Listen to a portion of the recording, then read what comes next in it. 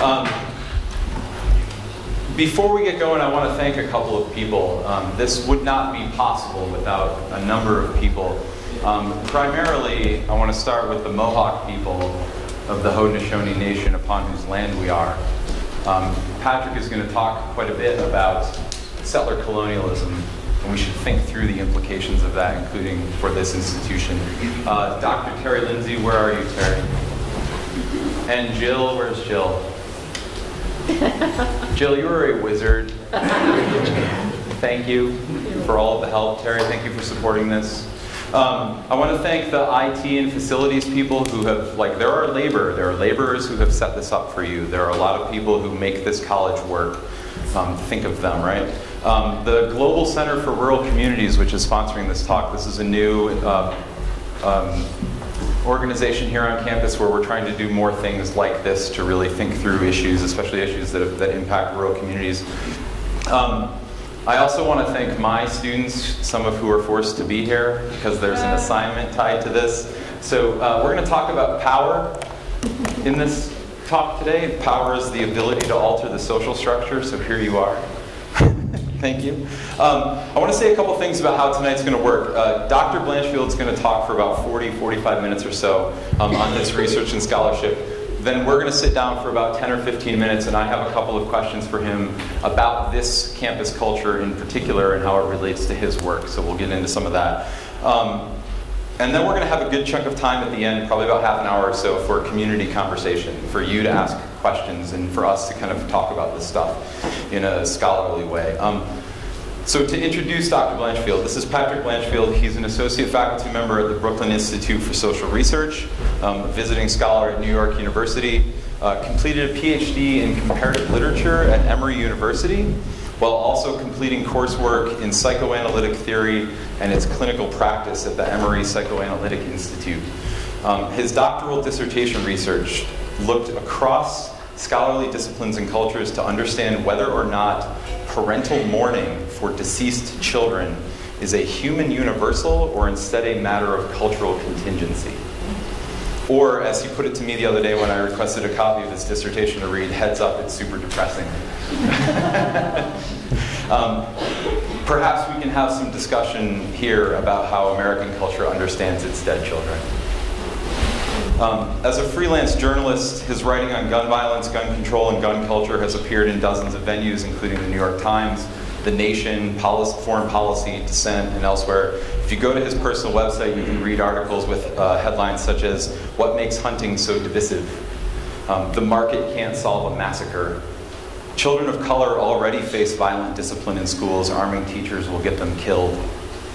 Guns and the price we pay for freedom. And finally, Thoughts and Prayers um, which, which some of my students have read some of these for this. So his book, Gunpower, which you're going to hear about tonight, will be released by Verso in 2020, so coming out soon. Um, one final thing to say about Patrick and his scholarship before we get going. We're going to spend a lot of time here talking and thinking about guns, gun politics, how all of this relates to this idea, this thing that we call America. Um, I don't know about you, I've found this public discourse on this issue to be utterly exhausting and exasperating. Um, it never really seems to get us anywhere productive. The thing that I respect the most about Patrick and his scholarship is that he gets us way beyond stale and tired debates about things, about these things, and instead takes us into new and often actually much more difficult intellectual terrain. Um, these are my favorite thinkers, those who can look at issues like gun violence and gun control and move beyond simple notions of left versus right, Democrat versus Republican, red versus blue, rural versus urban, black versus white. This issue, like so many other issues, is far more complex than such simplistic framings um, that shape our discourse. I hope you see that tonight. So, Patrick Blanchfield.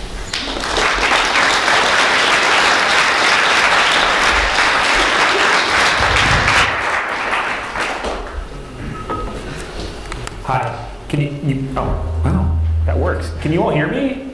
Yeah. Okay, awesome. In the back, yeah. Okay.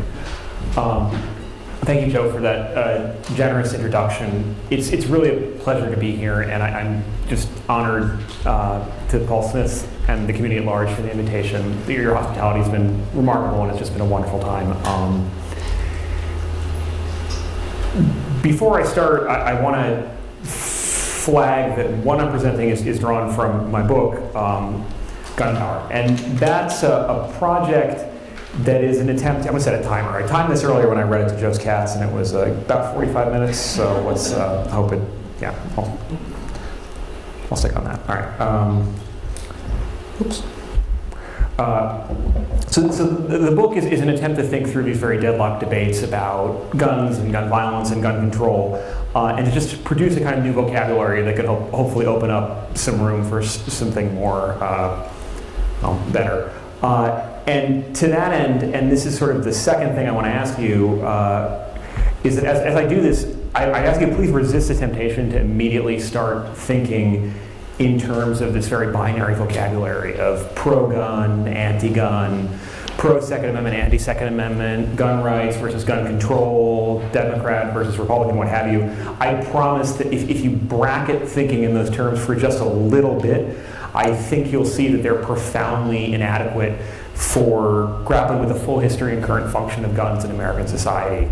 Uh, in fact, you may even join me in concluding that these terms uh, imply false choices and superficial antagonisms, concealing what in fact has been a reality of underlying consensus and deliberately limited horizons of alternative possibility. Uh, in other words, you may see the totalizing dominance of a system of social reproduction and social control that I call gunpower, uh, but I get ahead of myself and I promise I'll gloss all the vocabulary and try to keep this as low a jargon as possible.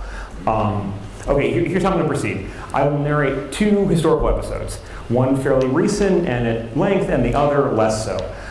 I will then propose we consider these two episodes as emblematic and probably inevitable products of certain processes, tendencies, and priorities that have been recurrent over the course of American history. I will explain these as representing a particularly American approach to social reproduction and social control, gunpower, and I will quickly summarize what that means as a model and sort of unpack its key features, but paying specific attention to dynamics of race, space, and extraction. All right? Cool? Cool. Um, before, uh, there's one last note actually, which is that I'm going to narrate two scenes of, of really extreme violence. Um, because it's necessary, I will briefly relate what happened, who did what to whom, and what the consequences were. I have chosen these events because they are well documented and in different ways paradigmatic. Their horror is singular, but also, and this is key, they're not unique. Uh, the events I've chosen occurred within 200 miles and years of each other in the north of California's Central Valley. Uh, but I promise you, similar stories with the same dynamics of power, trauma, and forgetting are written everywhere across our landscape, our history, and yeah, just the physical space of America itself. Um, so here, I'll, I'll, get to that one second, but I do want to share these images. These are three images of basically the same place, uh, which is Germantown. It's a community or neighborhood now of Philadelphia, northern Philly. Um, these are three scenes from Germantown. The first is the Battle of Germantown, which occurred during the Revolutionary War. I'm not sure if this is going to render quite nicely, but there you go. This was actually a loss for the Americans, um, but it impressed the French enough that the French decided to supply us with us to supply the fledgling Continental Army with a tremendous amount of French rifles and muskets, without which the Americans probably would not have won the war. Um, that's the Battle of Germantown. This is another scene from Germantown uh, a century later. Uh, the reason Germantown is called Germantown is because of the number of German immigrants who live there, and it's been occupied by German immigrants since the 1680s, or at least it was. Uh, and it's significant if you're a colonial history buff or into like early firearms, insofar as that that's the crucible of the beginning of the American firearms industry. It happens in Pennsylvania right? It happens first in Germantown, and then it moves out to Lancaster. Uh, and the reason we have the word rifle, the etymology, that's probably from the German, but in any event, the designers of the best rifles, like the Kentucky long rifles and all that, were German extraction, right? These are people who came over from a very fractious part of Europe, and they brought their design in making very, very good long guns with them. Uh, this is, you know, 100 years later, and this is a German Schützenverein, which is a type of shooting club. It's sort of a male-centered activity of marksmanship, and this is a, a craze that swept the nation and actually is involved in the founding of the NRA, and we can talk about that later if you want. But this is another scene. These are all these German men, 100 years after the revolution, with their rifles. And finally, here's a scene from Germantown today. Uh, Germantown is one of the highest concentrated spaces of gun violence in Philadelphia currently and that's handgun violence, right? This is, this is, this is an image taken by my friend Jason Francisco, who's a photographer, uh, of what's called a murder corridor. And if you go to these different places in northern Philadelphia, which Jason does, you will see memorials left to people who have been killed by gun violence. Right, and he sent this to me early in 2013, uh, and it's an image of a memorial. I don't know if you can quite read it, but it's Sandy Hook, uh, dedicated to Sandy Hook Elementary School, and says "All Our Angels" beneath it. Right, and when he said this to me, he had a comment which was, "I wonder what the the memorials to the dead of North Philadelphia look like in Sandy Hook, Connecticut."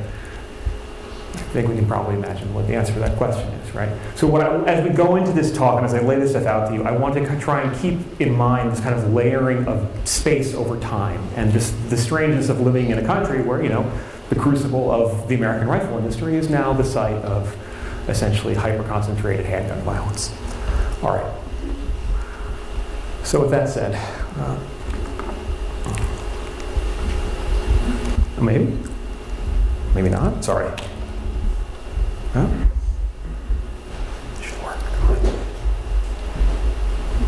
Sorry. No, that's not right. Shit, sorry.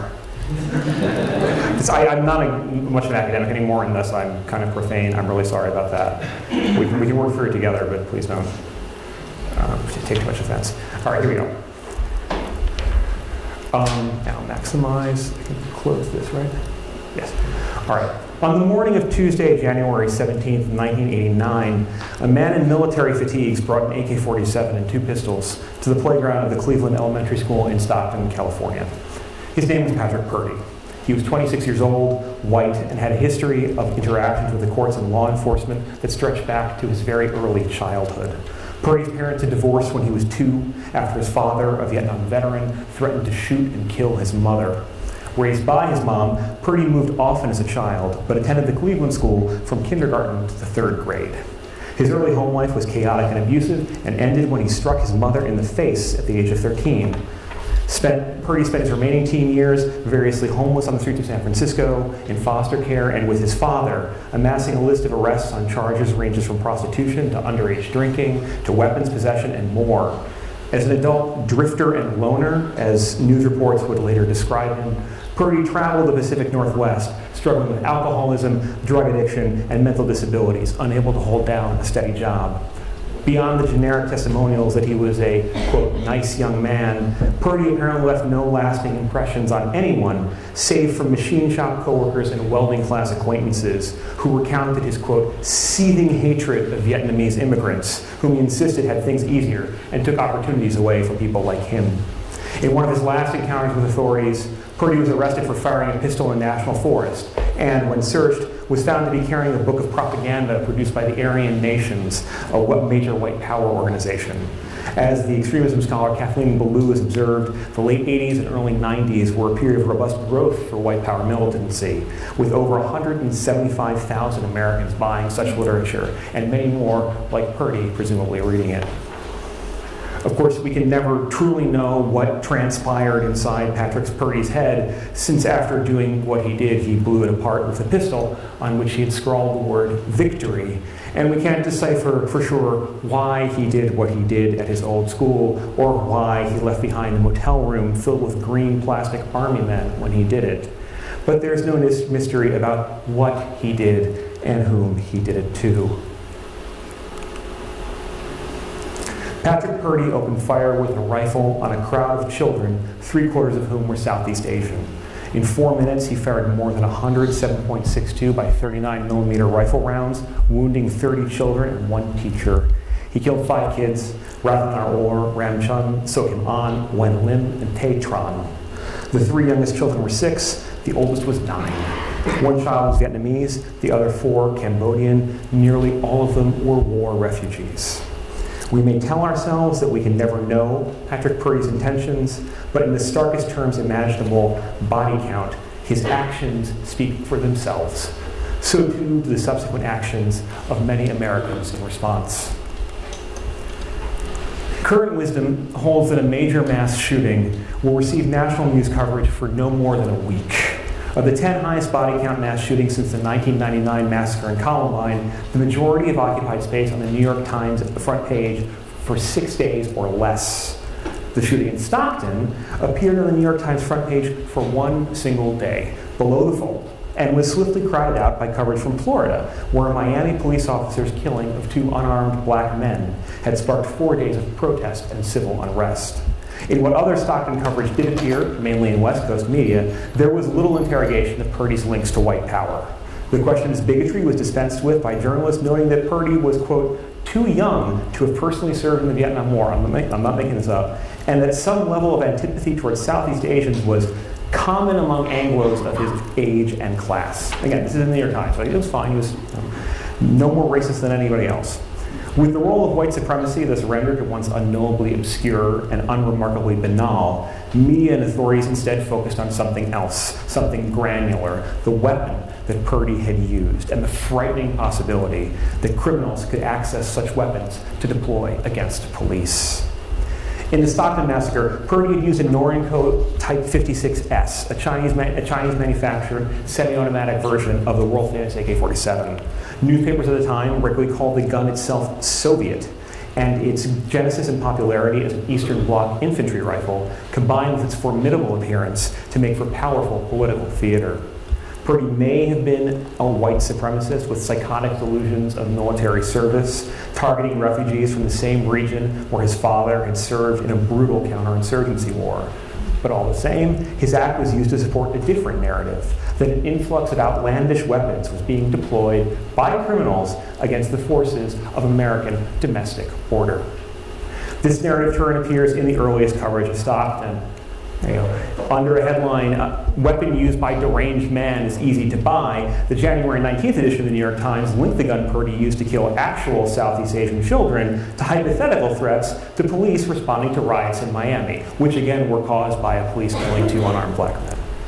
Explain the Times. In Miami, where the police say they have come under sniper fire in two days of racial disturbances, where drug dealers are heavily armed, and where many private citizens have access to guns as a result of lenient laws, Sergeant David Riviero of the police says there are, quote, all kinds of weapons on the street.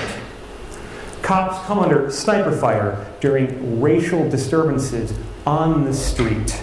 Please keep these phrases, specifically the one about streets, in your minds and that image as we proceed. They articulate a nightmare scenario that is elemental to gunpower. The, project, the prospect of the proper authorities, unable to project ballistic control over stratified, racially volatile space, could instead become objects of precision targeting themselves. So, what were the consequences of stopping? Well, just a month later, in February of 1989, the U.S. Senate held a hearing on restricting assault weapons. Its star witness was Los Angeles Police Chief Daryl F. Gates. When it came to assault weapons, it stood to reason that Gates knew what he was talking about, since no other person done more to arm America's police with them than him. Indeed, in the wake of Watts's, quote, racial disturbances in 1965, and specifically prompted by reports of cops taking sniper fire, Gates had founded America's first SWAT team, which he initially wanted to call Special Weapons Attack Teams, but the PR people at the LAPD were like, no, no, no, you have to change it. So he changed it to Special Weapons and Tactics. In his memoir, he says that this, this left him crestfallen. He was apparently very disappointed that they couldn't be attack teams.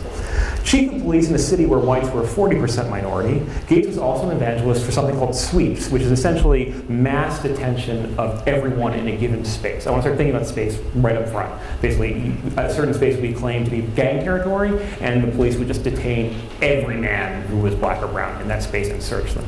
All right. Um, Gates was also a hardened drug warrior, a man who believed, quote, people, who, and this is an amazing quote, people who blast some pot on a casual basis ought to be taken out and shot. And who insisted that unlike normal people, some blacks were biologically predisposed to resist chokeholds.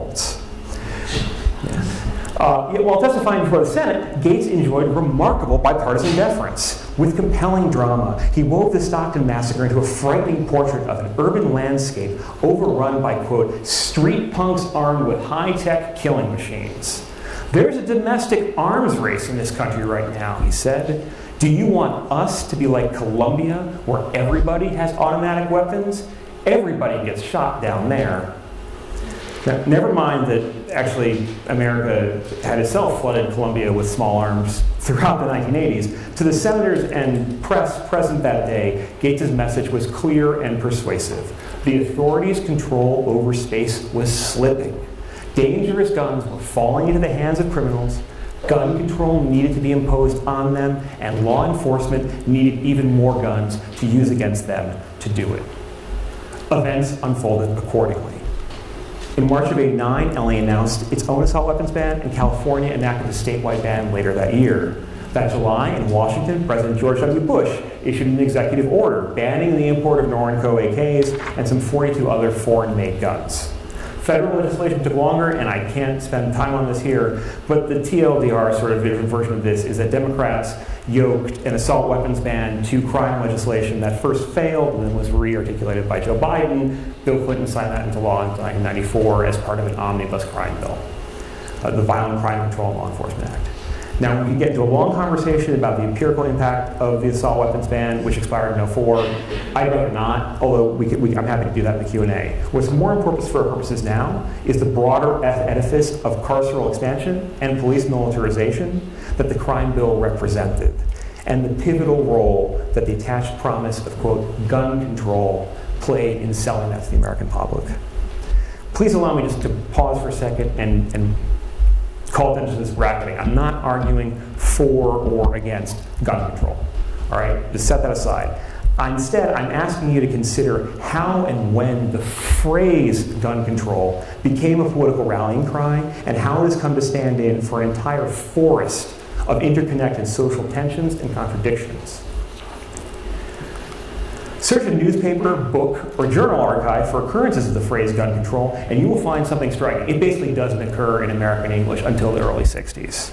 The story of the term's genesis is also too long to get into here now, but suffice it to say that it was cemented in the public lexicon by the 1968 Federal Gun Control Act, which was a follow-up to President Johnson's own omnibus crime control and safe streets bill a bill that vastly increased federal funding for hiring and arming police in riot control and counterinsurgency warfare. And I want to gloss what I mean by counterinsurgency warfare, right? This is the idea that in a counterinsurgent asymmetrical warfare scenario, you control the territory, right? You have troops to patrol it, but you don't control the people within it. They're resisting, they're insurgents. So you determine your strategy based around controlling the territory and controlling people within it. There are two points here. First, gun control is not a natural, obvious, or ancient term in American politics. The term gun control comes from the same turbulent crucible of militant leftist activism, widespread social unrest, urban rebellions, and blowback from humiliation in Vietnam that also saw American politicians getting, quote, tough on crime and waging war on drugs. Second, and this is really important, Note how the discourse of gun control is thoroughly interwoven with rhetoric of space and ideas of territorial control. From the very start, the discourse of gun control has been all about America's, quote, safe streets and protecting those streets from the influx specifically of foreign guns. Likewise, in policy terms, the single biggest through line in the history of modern gun control has arguably been the intensive, spatialized criminalization of entire neighborhoods. From the 70s onwards, numerous American cities, LA, DC, Kansas City in particular, became laboratories for refining and then exporting a suite of discriminatory policing practices and programs, all in the name of fighting criminals and stopping gun violence. Even as substantive proof of these worked was almost non-existent. Right, the fruits of this period include a rehabilitation of pretextual vehicular stops, Terry stops, right, cops can just stop you for whatever reason when you're driving, and also the building blocks of what in New York would become known as stop and frisk, right? Um, during the 80s, this was doubled down on in response to the crack epidemic and was also further boosted in the 90s with a turn to so-called community policing, which again, like is one of those terms that sounds like something other than it actually is. The bulk of community policing money went to SWAT teams. So that's community policing. Uh, this tendency has continued throughout the 2000s and 2010s, unfolding in conjunction with unprecedented, unprecedented police militarization under Bush, Obama, and the Trump administrations. Today, gun charges are routinely used to maximize sentences for low-level drug possession, and federal prosecutors mine state and municipal dockets looking for old and pending small claims cases to which they can add compound federal charges. Now, I want to just be clear and think about the spatial dynamics. You can, you can catch a federal gun charge if you are caught in the proximity of a gun. In some municipalities, that will even make you be described as a quote unquote violent criminal. You don't have to use the gun for anything, you just need constructive possession. right? You can be in a car with a gun. But also in a lot of these places, there are guns all over, right? People stash guns, in, you know, under park benches, and garbage cans, etc. From the point of view of the feds, if you already have a low-level drug charge and they can catch you and find a gun near you, that can arguably be your gun, and you can be looking at a five-year federal minimum. All right. Now, this has been a situation that has steadily increased. You can see this chart here, right? Through a, a, pro a project known as the Safe Neighborhoods Program. Again, it's all about space. These neighborhoods, we have to keep them safe, right? Um, and again, this is a through line through the Obama administration and the Trump administration. In 2017, as part of his tough on, Trump's own tough on crime platform, and one of his first actions in office, Attorney General Jeff Sessions directed the Justice Department to ramp up firearms prosecutions through revamping a Bush-era safe neighborhoods programs. Right? As of the first quarter of 2018, they have far and away surpassed any record set by any previous administration. I want to repeat, there is little reason to believe that any of these initiatives have done anything to get guns off the streets. The retrieval rate of guns from things like stop and frisk is like 2.5% of all stops. The retrieval rate for police stops when you're just driving through like Ferguson, the cops stop you, it's like 3% of stops. Very minimal guns are being removed from these spaces. But the initiatives have done two other things. First, they have fed millions of black, brown, and poor human beings into America's system of mass incarceration.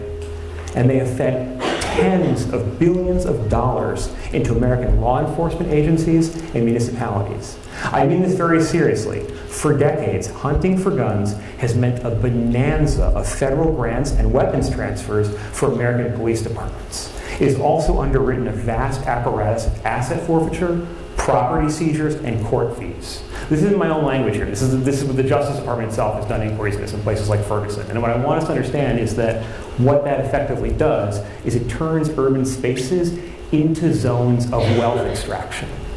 Right? You, maybe some of us have some experience like getting pulled over in a small town, like you're five miles above the limit and suddenly you're looking at a $300 fine, right? Think that, but applied to entire zip codes, right? You can predatorily extract fees, you can confiscate cars, property, homes, billions of dollars over the course of decades that sustain municipalities, right? This is also at a very real toll in terms of human lives, right? As we all must recognize, American police shoot American civilians, disproportionately minorities, with a frequency that has no analog anywhere else in the developed world, at least a thousand people a year. As of this year, homicide by police is the sixth leading cause of death for American men aged 25 to 29 of any racial background, with black men being two and a half times more likely to be killed by cops than white men, and black women one and a half times more likely to be killed by cops than, uh, than white women.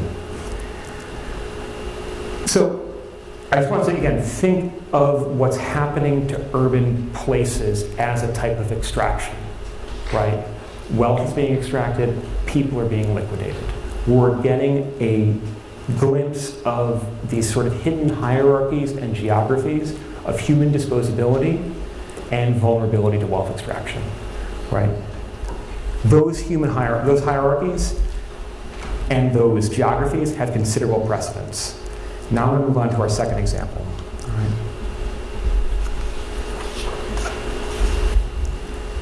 On Sunday, April 5th, 1846, Captain John C. Fremont and his men arrived on the banks of the Sacramento River near what is today the city of Redding. This expedition was illegal in a variety of senses. America was not yet at war with the Mexican government, and Fremont had unilaterally invaded Mexican territory, defying direct orders to survey the Rockies. But such technicalities meant little to John C. Fremont. At 33 years old, Fremont was a properly Washingtonian figure, specifically the young George Washington. Like Washington before him, Fremont was a Virginian who'd been formally educated in topography and employed as a surveyor. Like Washington, too, he held grand ambitions for political advancement and personal wealth, the latter to be gained through dubious frontier real estate claims. And like Washington also, who demonstrated this trait in ordering campaigns against the, against the Haudenosaunee, who called him the village burner, John C. Fremont was not shy about waging, waging brutal war against Native people. Fremont entered Alta California on December of 1845, leading a group of soldiers, adventurers, and guides. These included Delaware Lenape's and also the noted frontiersman Kit Carson. Although the purpose of his mission was not only scientific, the Fremont's patrons in the Senate and the Department of Navy had made sure it was heavily armed and gave him a secret mandate to attack Mexican forces in the event of a declaration of war. Fremont, who is a remarkable figure in a qualified sense, uh, took this as effective license to personally invade California. Uh, after a brief show of force, he basically hoisted the flag outside Monterey and then ran away before the Mexicans could shoot him. Uh, Fremont worked his way north. He and his men passed first through large estates controlled by rancheros, semi-feudal Mexican landlords, and then into valleys only nominally under Mexican control. This fertile region was populated by Yana, Shasta, and Wintu and other indigenous people, but was increasingly dotted, dotted around the edges by American settlements. Somewhere near Sacramento, five such Americans, all employees at a private trading post, told Fremont that they'd observed, quote, about a thousand Indians in the vicinity, making preparations to attack the settlements. Fremont pledged, to assist the traders, inviting them to join his party. All told, his group now made up 76 men, each carrying, quote, a Hawkins rifle, two pistols, and a butcher knife, and miscellaneous other weapons. On April 5th, 1846, Fremont and his men sighted a large group of Indians, likely Wintu, on the shores of the Sacramento River. There were indeed about a thousand of them, but they were not a war party. Instead, they were mostly women, children, and elderly people, an entire community gathered to harvest salmon. Before I continue, nothing is to gain, to gain in attempting to like minimize the violence of the, the, Mexican ranchero system, right? Nor still is anything to gain by downplaying the violence of Native American ways of war, though in California they actually were pretty pacific, but that's another matter. What I want to stress, though, is that what Anglos brought to California was something different, a way of fighting defined by total war. Uh, colonial military theorists call this petite guerre, which is French for a little war, what we oftentimes call guerrilla war using the Spanish. Uh, and contemporary military historians like John Grenier and Armstrong Starkey call America's, quote, first of war. I'd love to talk more about in the Q of A, but suffice it to say that the first of war combines both continental European military science, right, and technology with the individual marksmanship, small unit tactics, backwoods ambush techniques, and firing undercover skills that Europeans basically appropriated from Indians. It's, it's a hybrid mode of warfare. Unlike natives, who pre-contact fought largely limited conflicts to vindicate warrior masculinity or cover the dead after you lose people for uh, feuds or disease, Anglos fought to permanently claim land. This is a key thing, and think about space here. Indigenous people did not fight and hold position. The idea of like seizing an escarpment and just holding it out against all odds, like dying for some hill, it's a very European thing to do. Pick a hill and die I guess. Um, in other words, the first way of war is all about conquering territory and imposing counterinsurgency control on the people inside it. Although I talk much more about this in the book, I cannot overstate to you now how fundamental firearms, and particularly flintlock like, and, and subsequent rifles, are to this mode of warfare. What happened that day in April shows why. Fremont and his men caught the Wintus with their backs to the river, within the 200 yards range of, the hawk, of their Hawken rifles, but well beyond reach of the native bows. Without any efforts at parley, Fremont ordered his men to open fire. As soon as we got within rifle shot, they began to fall fast, remembered one participant. Our advance guard of 36 first came in sight of them and immediately charged and poured a volley into them, killing 24, wrote another. When the muzzle-loading Hawkens began to foul from being fired over and over, Fremont's men didn't stop. That's what the pistols were for. They moved in, taking the butchery close quarters. There commenced a scene of slaughter which is unequaled in the West wrote one expedition member. This is rough stuff, but I'm going to read it. The bucks, squaws, and papooses were shot down like sheep, and those men never stopped as long as they could find one alive.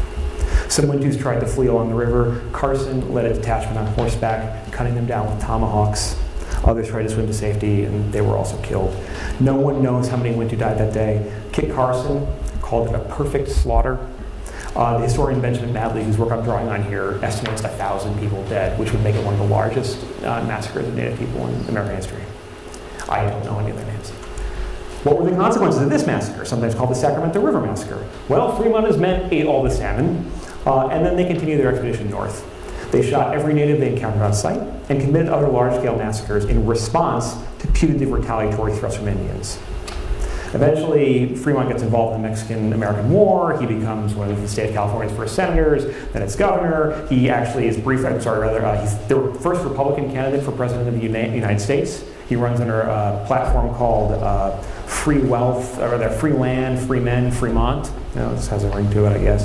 Uh, and then he also he super wealthy, surprisingly, uh, with all the land he's captured, which they later find gold on. So he invests it all in railroads. The railroad stock collapse, and then he dies in a actually he dies in a pensioner's home on Long Island. So you know.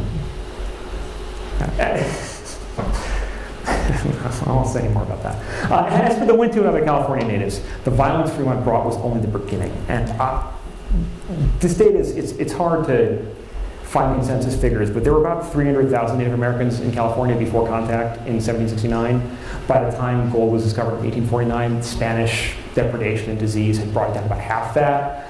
Within the next decade alone, it's like literally talking 1849 to 1859, the indigenous population of California would drop by 80% to around 30,000 persons. That stunning drop coincides with a veritable orgy of genocide, slavery, and rape perpetrated by American newcomers. In 1851, California's first governor, Peter Burnett, described settlement in terms of, quote, a war of extermination until the Indian race becomes extinct. I could get more granular about this, but what I want us to sort of think about here is, and you can read it in the book if you'd like, essentially, on an industrial scale, California makes possible the massive seizure of land and confinement of indigenous people. The militia is formally chartered under law in 1851 and receives literal millions of dollars in handouts of weapons from the federal government and from the state of California. There are laws that basically allow uh, indigenous people of any age or gender to be seized by um, settlers and used for chattel labor. Uh, those people are then put to work to dig mines, to work in orchards, uh, and build railroads. And again, I, I just want to like stipulate this, like the War Department starts selling guns to settlers at cost. And between 1848 to 1850, but that's still not enough. We're talking about a tremendous amount of guns. And between like 1848 and 52, settlers buy something on the order of $6 million of small arms. That's in 1800s money, right? So you have settlers crossing the Great Plains. They bring cannon with them, they drill. So with all these guns in play, the inevitable happens. Indigenous people start shooting back, right? Uh, and so in 1854, the California legislature passed a law banning the sale of any firearms to indigenous people, right? It criminalizes native gun possession. Beyond impeding resistance and giving settlers an advantage, the law also ratifies the fundamental pretext of the entire settler enterprise that indigenous people were an existential threat, against whom genocide was actually a kind of, quote, self defense. Precisely because natives could resist their use with guns, and their simply having them was preemptively criminalized. Because they existed, California natives had to be exterminated. Because they, because they resisted, their extermination was righteous. Meanwhile, and this is key, the law deprives indigenous people the right to have guns to hunt. Right? They're moved to reservations, unfamiliar ecologies, where they don't have weapons to either hunt with for food themselves or to produce animal-based goods for trade. Right? This effectively generates mass starvation and vulnerability to disease. Uh, and by 1900, there are just 15,000 native Californians left. A century earlier, that would have just been Northern California's population went to alone. Right? And that law from 1854, criminalized native gun possession, stayed on the books until 1913. All right. These episodes offer vignettes of this system that I call gun power, right? I'm more granular about this in the book, but here I'll just say that gun power operates by widely distributing weapons and the prerogative to use them differentially across social hierarchies.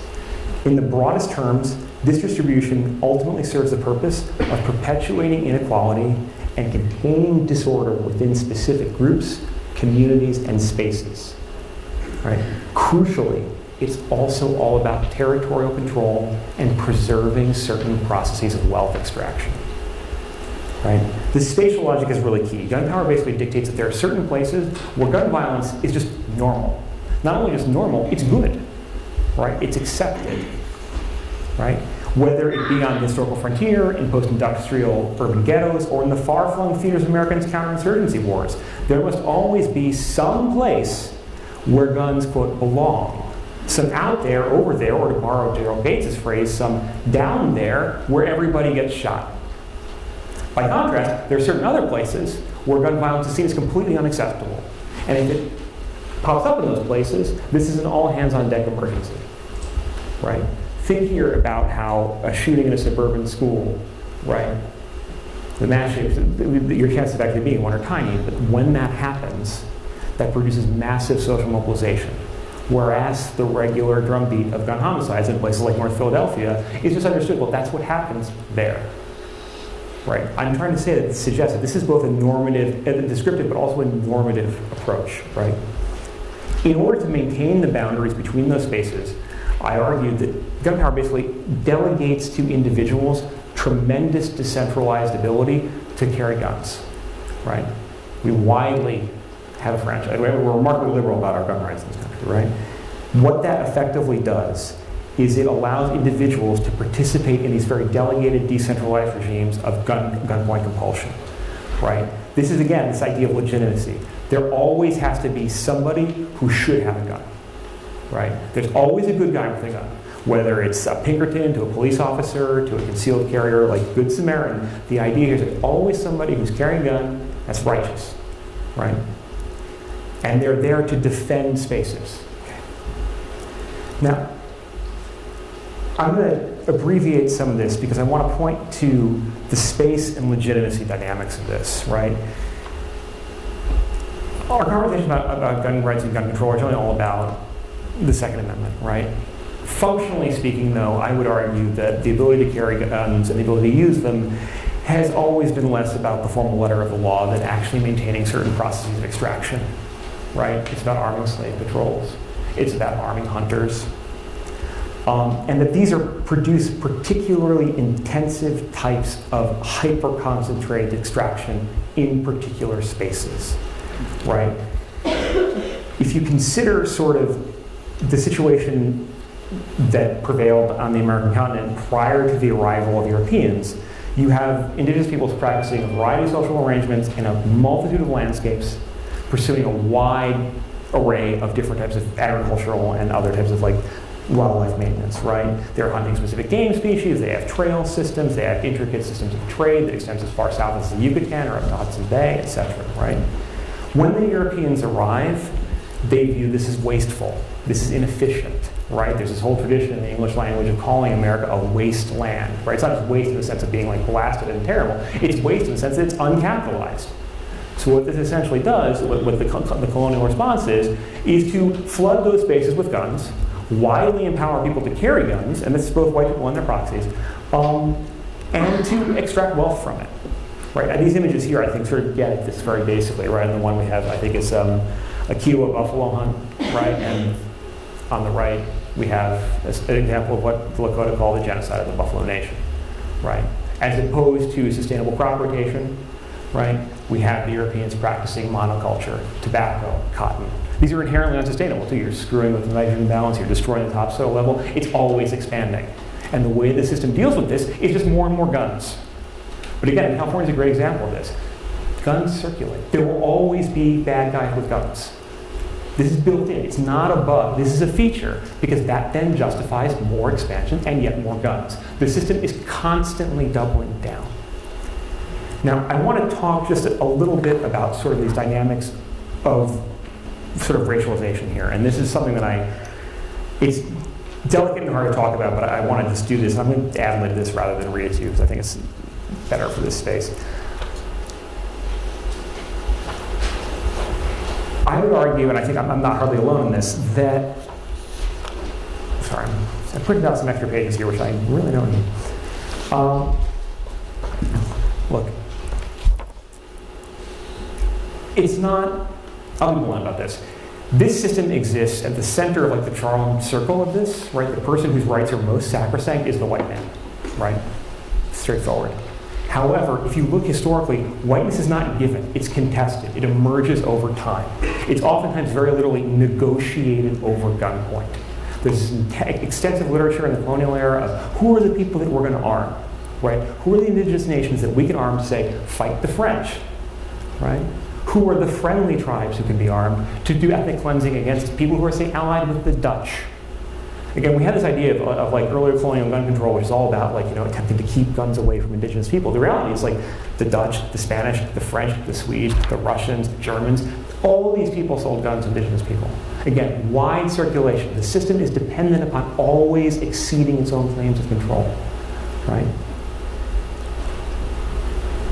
I would argue that our sort of racial logic here emerges from processes of extraction and from these like logics of human disposability. I want to give an example because I think it's, it's an underappreciated one, but it gets very granular. So many of you may be familiar with William Hornaday. Do we know Hornaday? Does anyone know Hornaday? Yeah, right. Um, you know, he's a zoologist, he's a taxidermist, he's the, one of the fathers of the modern conservation, wildlife conservation movement right? He's responsible for basically documenting buffalo annihilation, right? And then produces this entire movement. He goes on to found the National Zoo in DC and then becomes the director of the Bronx Zoo in New York. Uh, where he's actually uh, somewhat notorious, and quite rightly so, for putting uh, a Congolese pygmy named Ame Ota Benga in a quote ethnological exhibit where he wrestled with a monkey for entertainment of crowds and later committed suicide. Um, so that's that's William Hornaday. But what people don't seem to know as much about Hornaday is that he also had certain uh, not entirely unique attitudes vis-a-vis Eastern and Southern European immigrants. I'm going to read you some of his thoughts on this. It seems absolutely certain that all the members of the lower classes of Southern Europe are a dangerous menace to our wildlife. Wherever there are large settlements of Italians and Hungarians, they swarm through the country every Sunday and shoot at everything they see. Let every state and province in America look out sharply for the bird killing foreigner. Hornaday particularly despised Italians, who he called human mongoose. Uh, the Italians are spreading, spreading, spreading, he wrote. if you are without them today, tomorrow they will be all around you. Uh, his solution to this problem was straightforward. Uh, he basically believed that the Second Amendment didn't apply to uh, Southern European immigrants. He proposed a series of plans by which like, you could basically prove that you were an okay hunter, and then you could have the right to bear arms. It would only take 10 years after you were naturalized, etc. Right? I think we can describe this as we're witnessing. I mean, I know Italians who are perfectly fine hunters, like they're, they're not human monkeys. What? Sorry. Um, this is the process you could just say basically by which Italians become white, right? Um, how the process of becoming white is sort of intimately bound up in the product to bear arms and the abilities to control space and extract resources from it, right? Today, I would argue, and this is, this is also the case, I would argue too, that like the Irish become white by serving in the police, right? By demonstrating their willingness to inflict gun violence on people of color in urban spaces, right? I would argue that again, this situation is present today, and I would argue too that like there is a very real way in which George Zimmerman becomes white because he killed Trayvon Martin.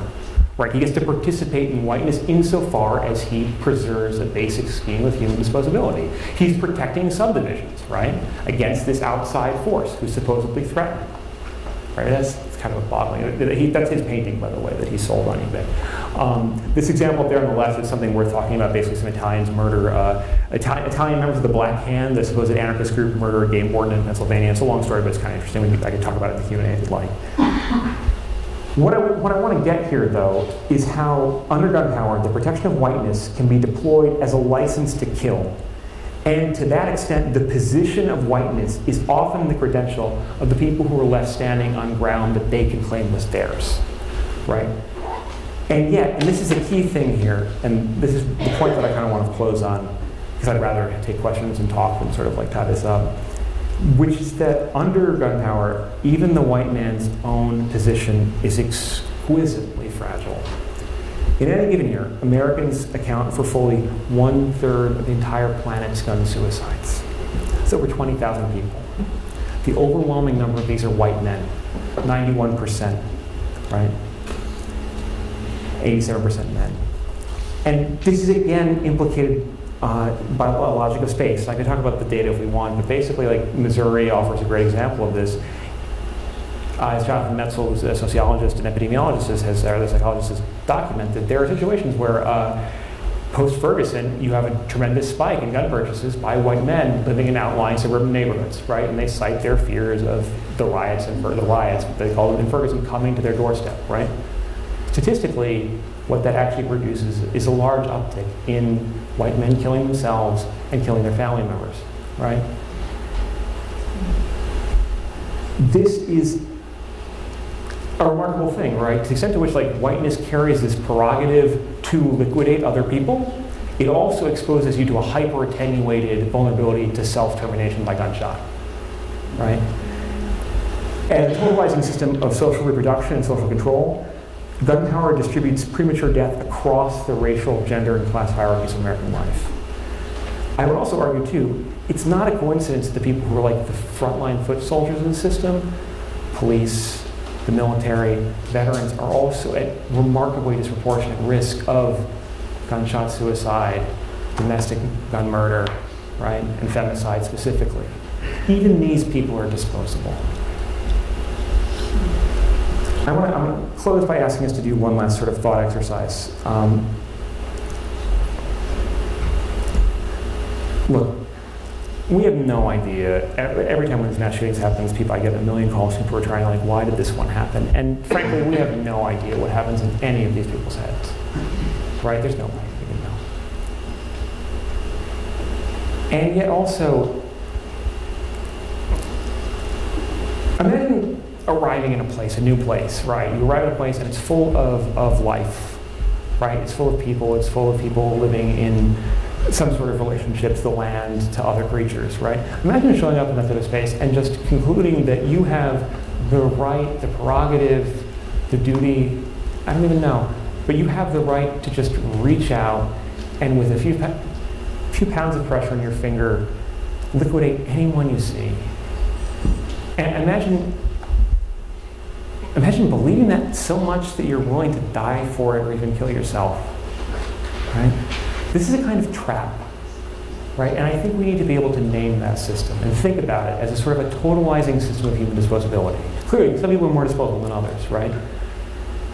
But I just want us to think of ourselves into that spot in order to think through like what are the material and social conventions that make that possible materially, but also make it imaginable. I think once we can do that, once we can all think about our collective disposability in those terms, we may be possibly able to undo that system, which is something perhaps we could talk about in the Q&A. Well, thank you so much. I really appreciate it.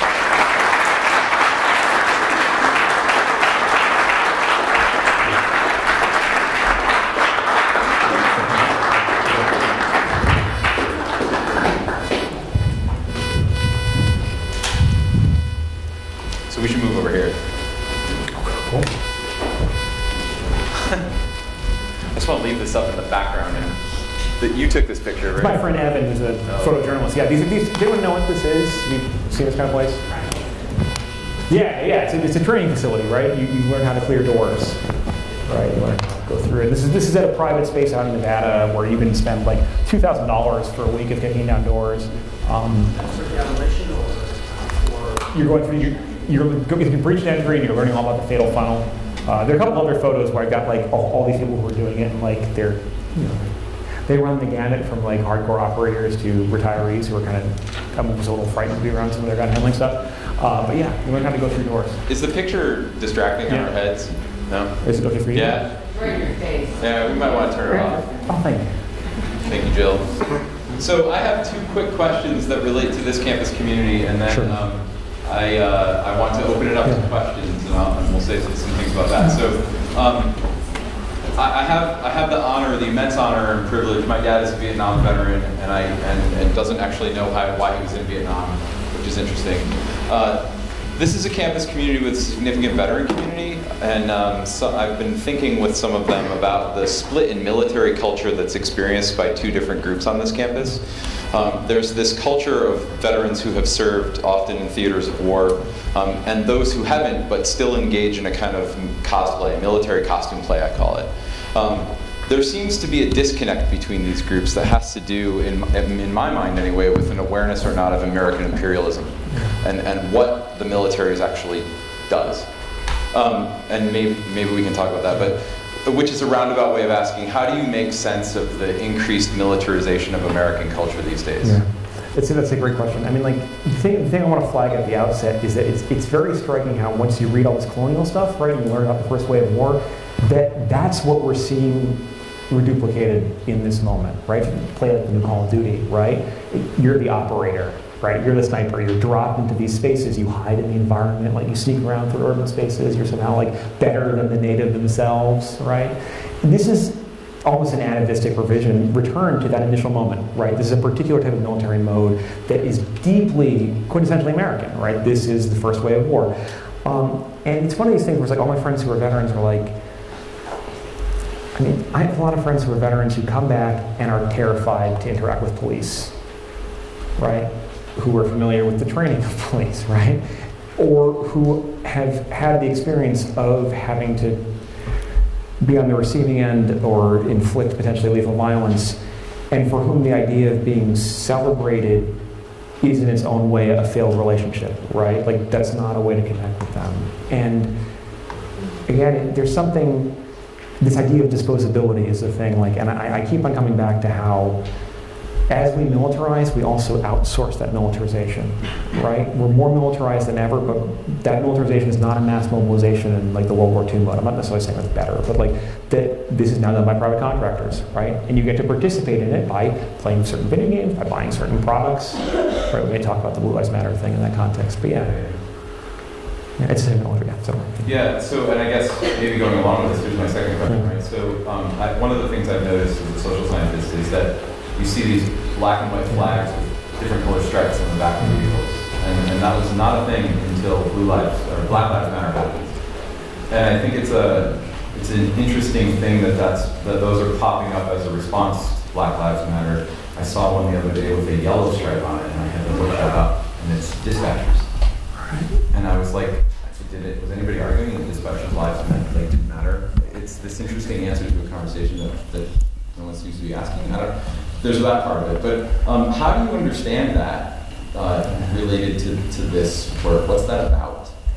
Like, so I situate this like in the book, and, and, and again, you're read it. Um, I situate this in terms like this is a very post-war on terror thing, right? And it's also a very like neoliberal thing too. We could talk about neoliberalism. Um, it makes military service a brand that you can buy, and you support it through buying things. Right? You don't support it through politics, right? You don't support it by being like, well, maybe we, should, we shouldn't be sending human beings into like some meat grinder elsewhere, right? But maybe we should have more thoughtful military interventions. No, you, you, you put a flag on your truck, right? And it's, it's, I also have a lot of friends who are vets who, who you know point out that like this is a way to def- arguably a way to deface the flag, and they react to it more strongly than they do to like flag burning, right?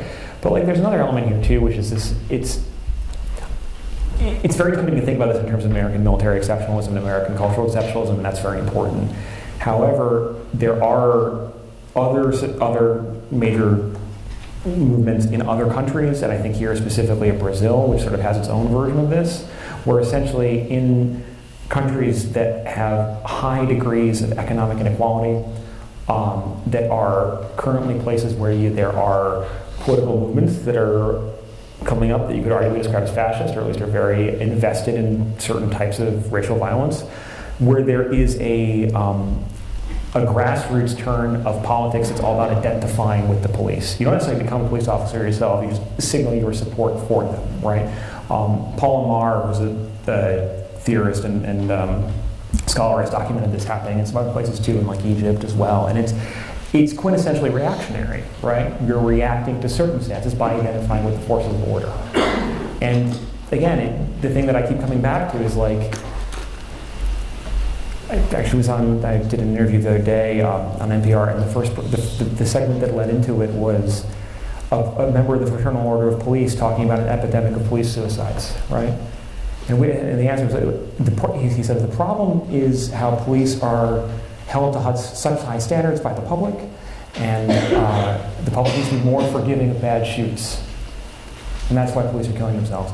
And be that as it may, like, well, if we actually, I mean, it seems more the Occam's razor answer is well, if you ask people to work with violence for a living, that causes certain kinds of damage. That exposes you to certain types of risk, right? And is the answer at that point to identify with them more, like wear more gear that supports them? Or is it maybe to be like, maybe we shouldn't be putting people in these sort of circumstances to begin with? Again, there are ways in which a lot of this like affirmation and identity, that like this identitarian, like will identify with the profession. It's about treating the individual human lives as actually disposable.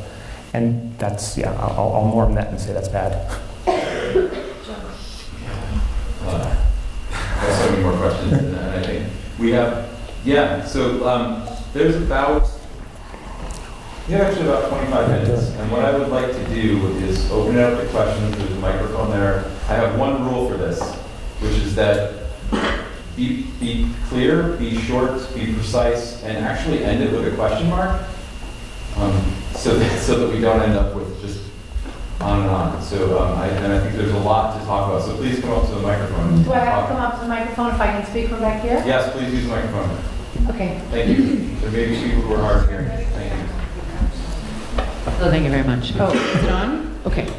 Um, So I, I kind of want to paraphrase a little bit. It went- It was really, really interesting. It's pretty deep, and there's a lot of maybe com- complex um, terminology that might not be familiar with some of the, you know, that might not have been familiar even to me, for example, in the audience. Um, But I- what I want to go back to is ask about the whole idea of, of becoming white. Yeah. That was a really neat. Um, that was a really neat thread. But what what I noticed was that over time, you be, different groups become white, and then they become the perpetrators, right? So, and that and that's um, so. I guess what I'm interested in, short, is if that's and it does appear to be what happens in human nature. Where's the you see? And you talked a lot about structure and hierarchy, and as opposed to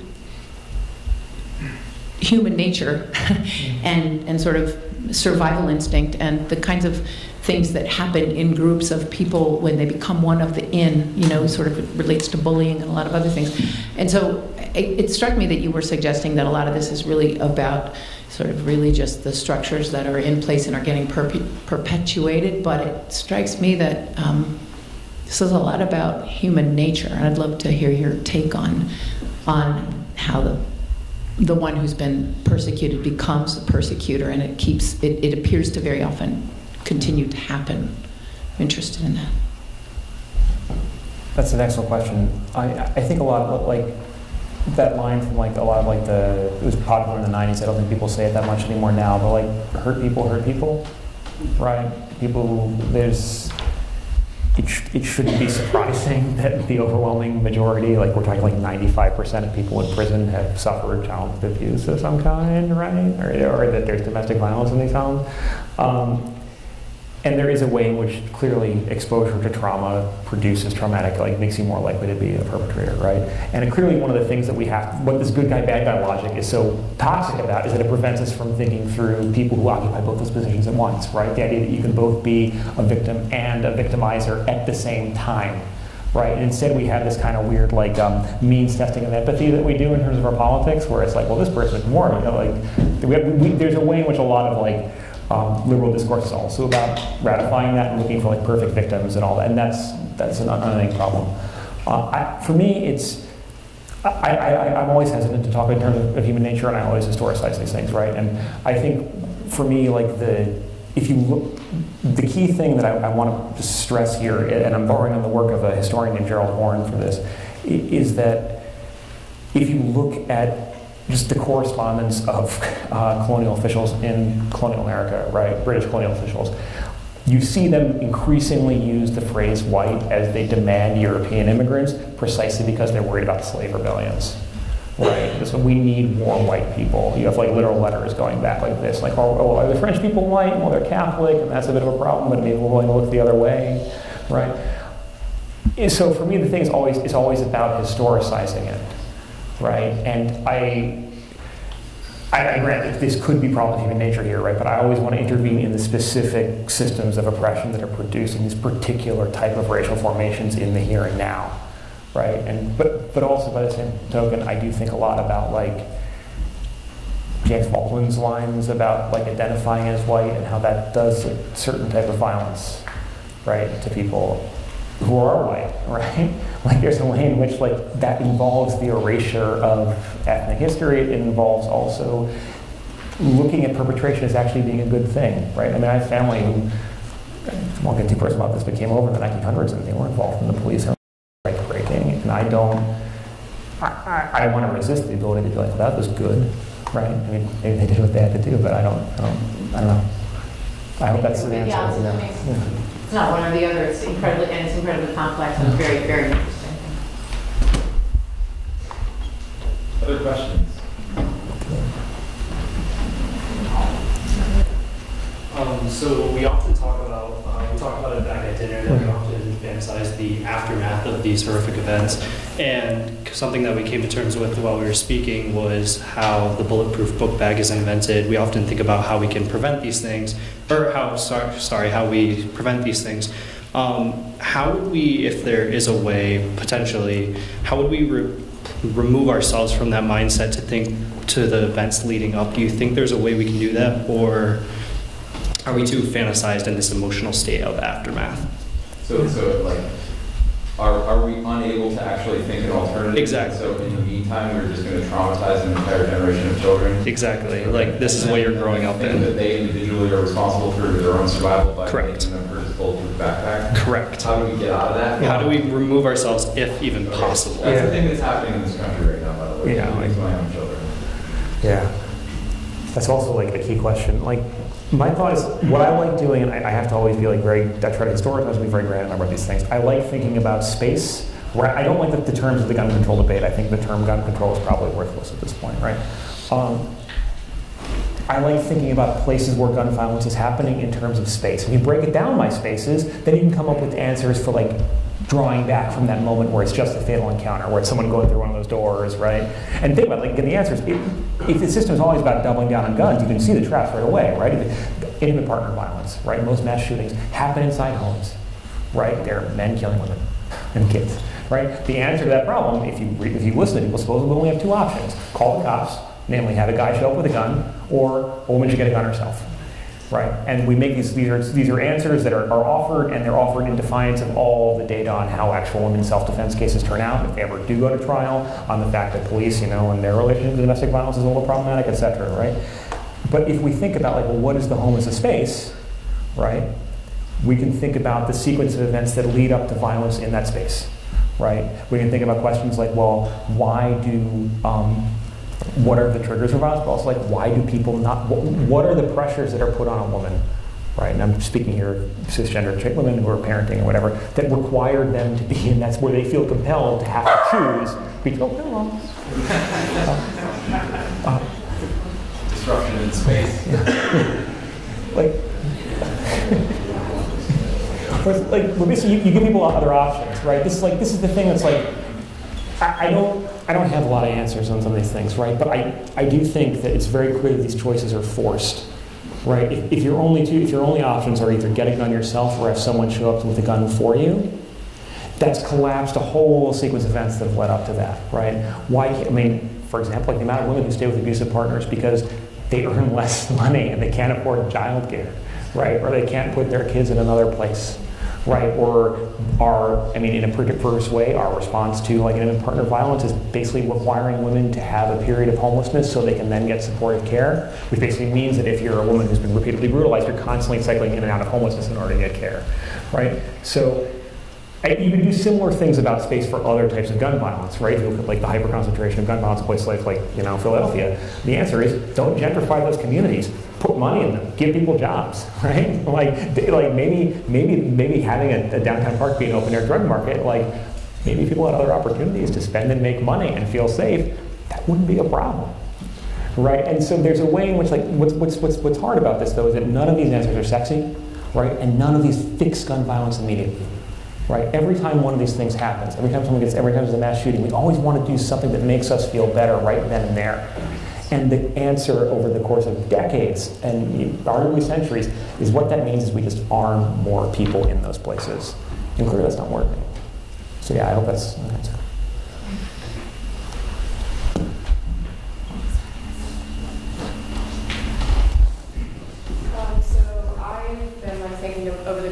this um, talk, why, I have like four questions, but I'll just give them to you and you can do with them what you will.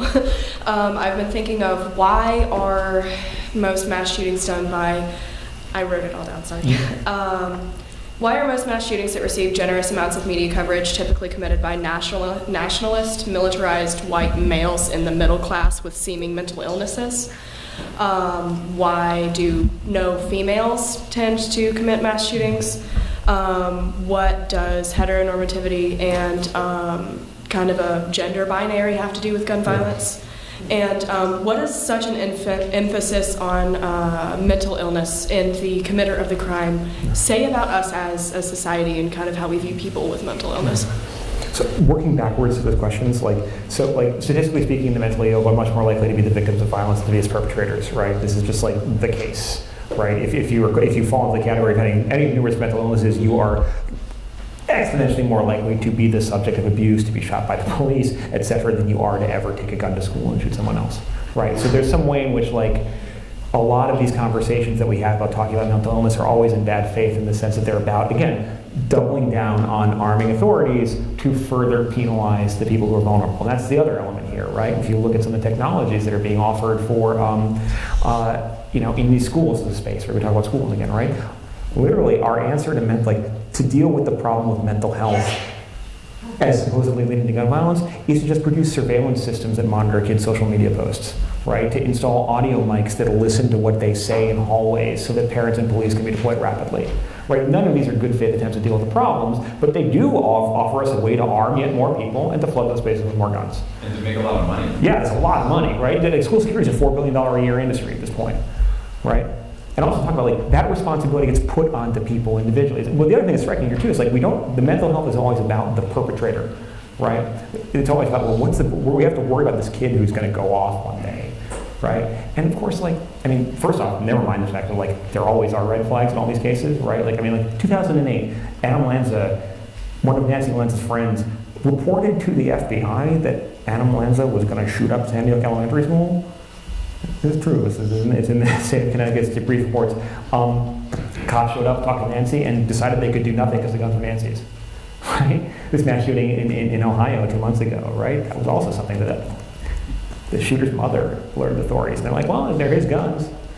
Like, I mean, the thing is, like, we think about these things, with the, the epistemic shift I want us to make, right, is to not think about these things as failures of the system, that only if we just tweak the right things, if we have another, if we have another armed guard outside the school restroom, if we have more surveillance, we can fix it. But if this is a system working to protect the interests of the people it's working to protect. And that gets to your first and second question, right? Like, I don't think it's surprising that a system of look, we live in a, settler colonial, in a post-settler colonial society, right, that was built upon the idea of the homestead as the basic unit of production, and the man and the head of household as having the right, you know, of oh, fuck, we had like how like states in which like the doctrine of coverture was persistent until the 1970s, right? Like women didn't have a legal right to defend themselves against spousal rape right? If you look at the court cases like on this type of stuff, like women didn't have a right to legally defend themselves against rape by other people, except insofar as they were protecting their own husband's properties, which was their bodies, right? It, I don't. There's something um,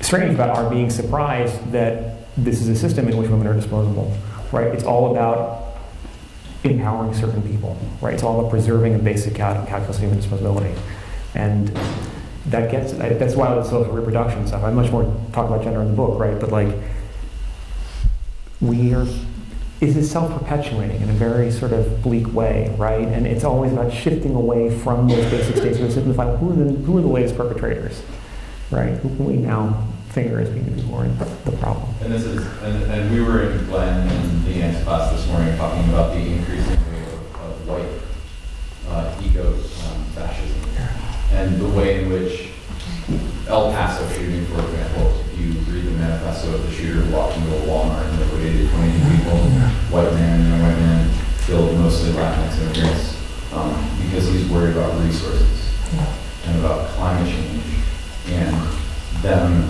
those people having access to resources and his need to protect those resources, right? It's the same ideology as the shooter of the Christchurch Mosque in New Zealand and Anders Breivik in Norway. Yeah. It's a global phenomenon. And it's, and it's deeply rooted to settler colonialism. Who gets to access land and extract wealth from land, and who gets to use those resources, and all the things that go along with that. Right. Climate denial, I've heard about this, and I can share this with you, Grace, it's fundamentally about settler It's like, and yeah. maintaining that system of extraction. Africa is not underdeveloped. Intentionally extracted and continues to be extracted in order so that we have these kind of like elaborate lifestyles. Yeah, I, sh- I should sort of like, that's part of what, I'm, what I was trying to do, what I wanted to do with this gambit of like these two examples, like the deranged mass shooter, Patrick Purdy, and then this person who, like, if you go to California, there's streets named after John C. Fremont everywhere, right? Yeah, everywhere. Like, there are tons of places named after this guy, right? Like, on the one hand, yeah, Purdy was clearly a pretend soldier who, you know, had some clear daddy issues and went to kill people at the school where he went to, right? Uh, on the other hand, like, I mean, John C. Fremont doesn't seem like the paragon of mental health either, in a certain sense, right? Like the ability to look at his face and be like, I can kill anyone in here, and that's my prerogative.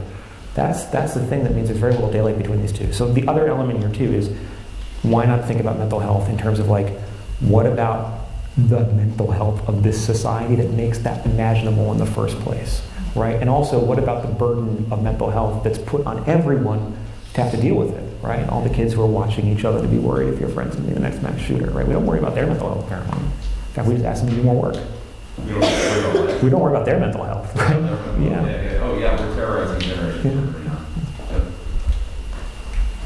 I've got a question. So it seems uh, this is obviously a long historical uh, developing issue. And uh, talking about space. And I, it, I keep thinking about uh, a space that's not easily defined, and that's the space in our heads. And so much of this seems to be based on uh, things like fear and insecurity. Um, and even the, uh, um, we talk about uh, uh, whiteness, and it seems like not all whiteness is the same either.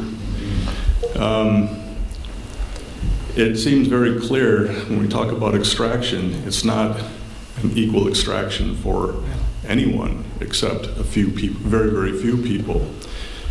And it seems so often that uh, when people start to get their heads a little bit straight or start to raise questions, things get stirred up. So it's like, it's like the fear and insecurity, uh, suddenly someone decides in certain places to tap into that and with false narratives, narratives that pit people against each other.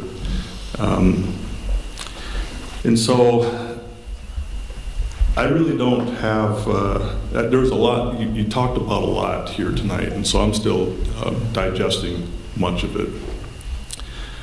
But thinking in terms of solutions, it doesn't really seem like the problem's very well defined yet. And I would suggest and even ask this question, maybe the real place to start is with the, the, the psychology of people, the psyche. What's, what makes people do what they do? Bones are getting thrown out there all the time to, to keep people from barking too loud. So that's all. Yeah, I mean, how do you, you're, you're trained in psychoanalysis. Like, there's, I mean, like, like life in. That's an excellent question. Like, it's like I also think like I think of, like Steve Scalise, right? Remember the congressman who got shot playing baseball in Bethesda like two years ago, right? At the point at which a congressman can get hit with like four high-power rifle rounds and come out and be like, "No, no, gun control is bad," and the real problem is the left and their guns. Like, I mean, everyone is disposable, right? And there's something about that that's like very hard for everyone, for anyone, I think, to realize, right? And making peace with our own relative disposability is a, I don't know, I, I, I, I, do reach for a spiritual vocabulary at that point. I'm not even psychological, right? I, re, I reach for something spiritual, like the idea that one can only do so much within the, against the face of a system against which you're just like gristle is it's a very hard thing to ask of people, right? And here I'm res- I'm resonating back to you what you said, right? The, the, the dynamics of this always are, well, you need to do something right now, and that will make you feel better, which is itself a lie. Right. So this is, and then we haven't talked much actually about neoliberalism. Yeah. This is one of the logics, right, which is like you, the individual, are responsible for dealing with this epic social failure. We, so we talk about it in terms of stand your ground, you get a gun, you're the one who will be like, you know, the, the, the, the winner. And, and what that does is it masks a larger conversation that we need to have around healthcare, uh, education, jobs, um, all of the things that would actually stabilize a society. And, and uh, Jennifer Carlson Yeah. actually might be worth talking about here. Jennifer Yeah. Carlson, sociologist, who, who talks about the very rational reasons that people carry guns in a society that is decaying and failing. Because it gives them a sense of security. Right? And you, you were just out there in Arizona presenting it there. Yeah. And I don't know if you want to talk about her work and Yeah, Carlson, so, uh, Jennifer's book is, is called uh, Citizen Protectors, and it's the everyday politics of guns in the age of decline. It's a brilliant book. I strongly recommend it, right? And, and she's, she's done ethnographic embedding with, with concealed carriers and with sort of like the concealed carrying licensing apparatus in Michigan, which of course is a site of tremendous post-industrial decline and this sort of efflorescence of private policing and individual gun carry, right? So in other words, the, the, the, the system of production has been taken elsewhere Yeah. under globalization. Yes. And, and into that vacuum, you have the privatization of resources. This is what happened in Flint, Michigan, for example, privatization of water and money.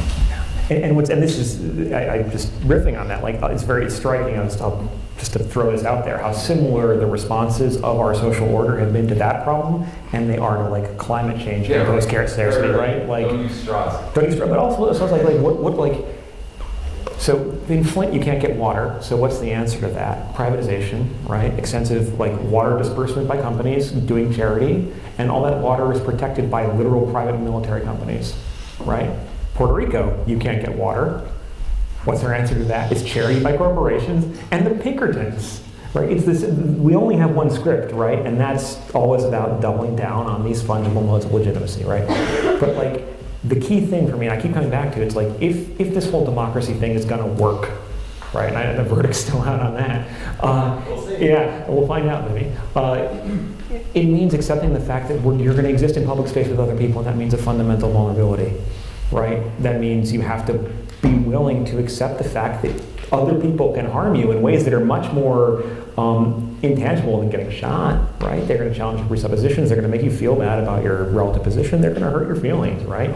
And that's a hard thing to swallow when everyone is fighting their own individual battles vis-a-vis precarity, vis-a-vis mortality, et cetera, right?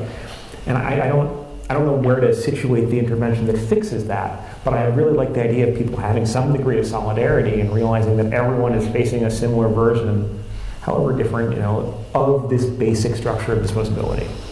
And that's, I don't know, so that's, I, I hope that's a helpful response. So One, one time, one final question, yeah. A real quick one. There's something I don't understand. I'm an older guy, and when I went to school in the 70s, I mean, people brought guns to school all the time, hunting season, things. Nobody would have ever thought about taking a gun in and shooting somebody. And we had bullies, we had everything. But society today has just changed so much. And I guess the question I have is, I don't know why we're concentrating so much on the gun issue as opposed, as opposed to the societal changes and the issues that have caused that.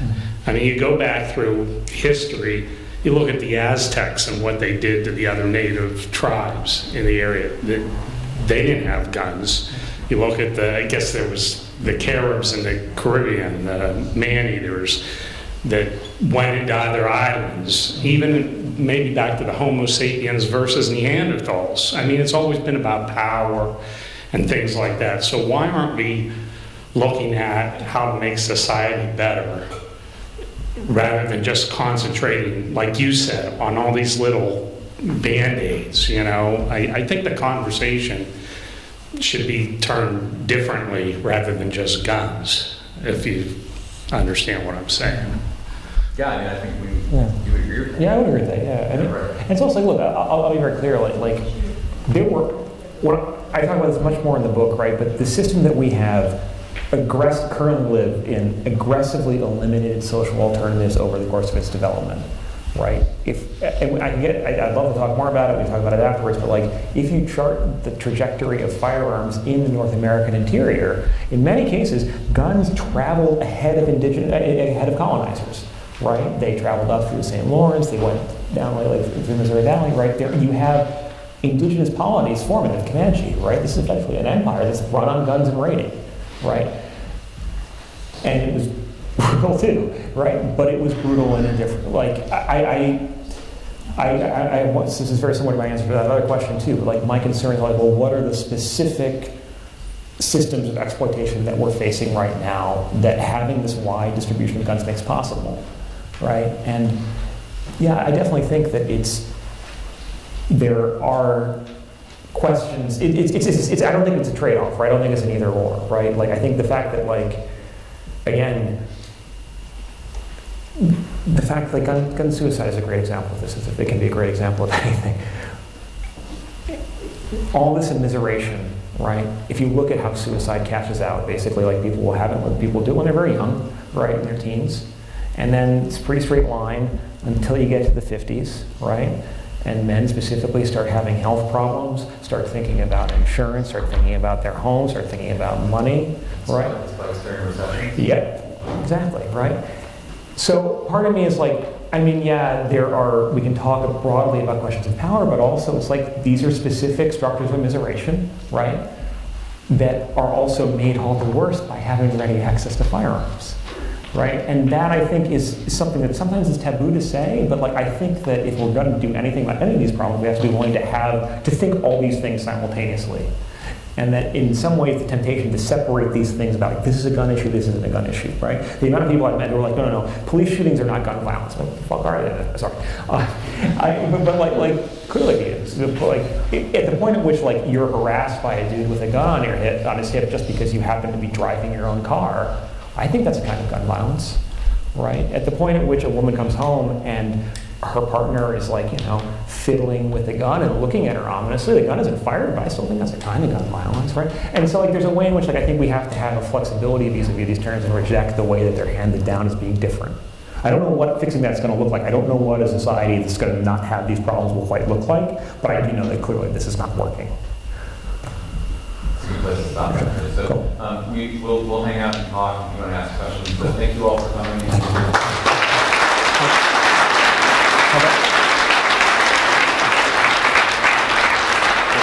that good?